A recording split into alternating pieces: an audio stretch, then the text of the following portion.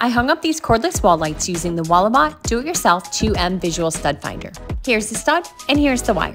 Walabot easily attaches to your phone because it includes the Walattach magnet.